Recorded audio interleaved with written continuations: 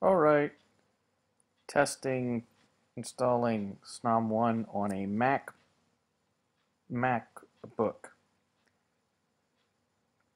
Uh, this is the first time I've tried to install it, so we'll move ahead here.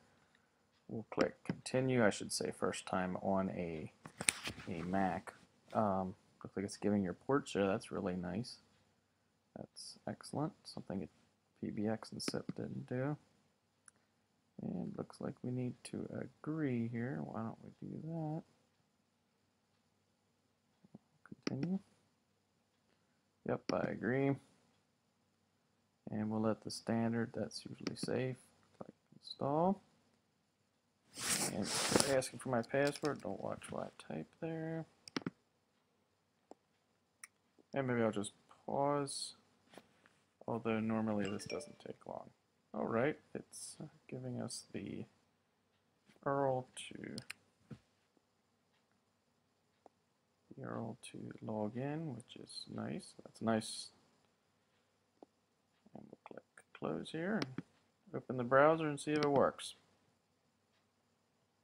You can see I'm using Screener there to record. Why don't we go over here and open another link.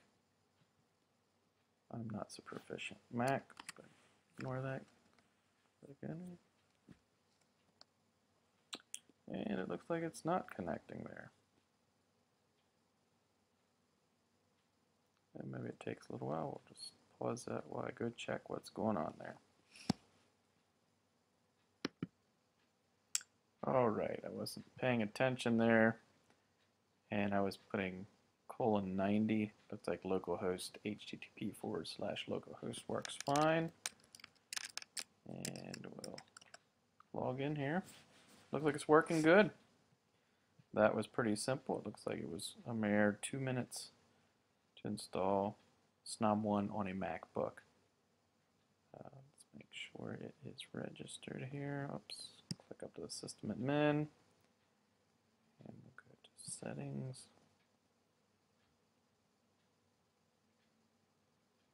License.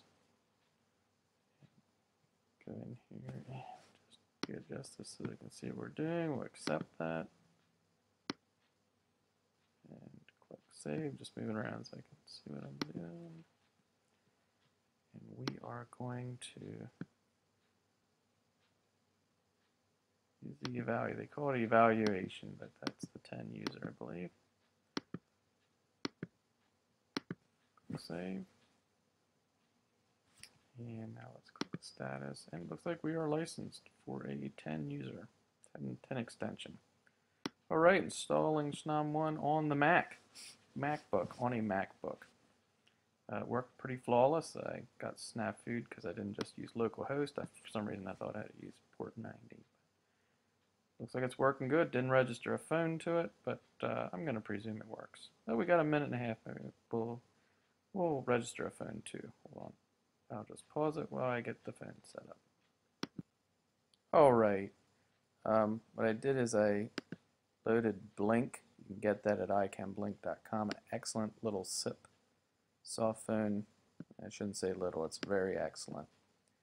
Uh, it includes things like uh, screen sharing, instant message, a whole bunch of stuff. I won't go into that in detail. Windows PBX.